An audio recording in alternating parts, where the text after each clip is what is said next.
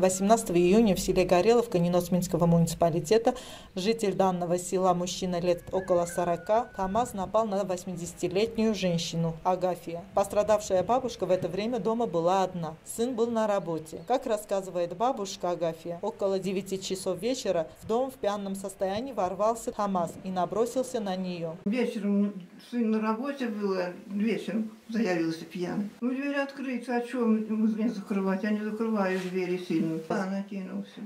Немножко помял мне бока вот. И ноге что это сделал, нога болит. Но обратилась в больницу, в эту в милицию. Объяснила вот так, вот так. И он заявился. Еле дошла до соседей. Ты хочешь. Как рассказывает сын потерпевший Александр, когда он вернулся домой с работы, то увидел, как мама плакала. Узнав о случившемся на следующий день, они обратились в полицию.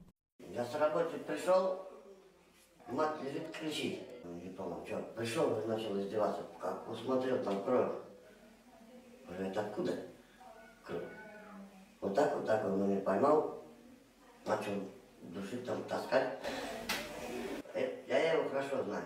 Он в школе работает. Только хочу сказать, что наказали его по самому строгому режиму.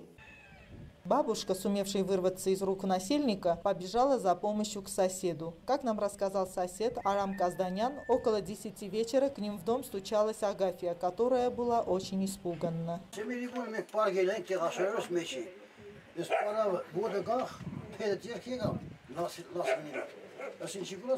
сашан дулече, Эдегава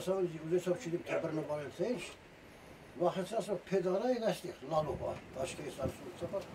Игамрастам кежам, ангстаса види, кинестараб джампутейс. Чтобы узнать, возбуждено уголовное дело по данному факту, мы связались по телефону с пресс-центром МВД Грузии. По этому факту ведется следствие по статье 126 Уголовного кодекса Грузии. Насилие.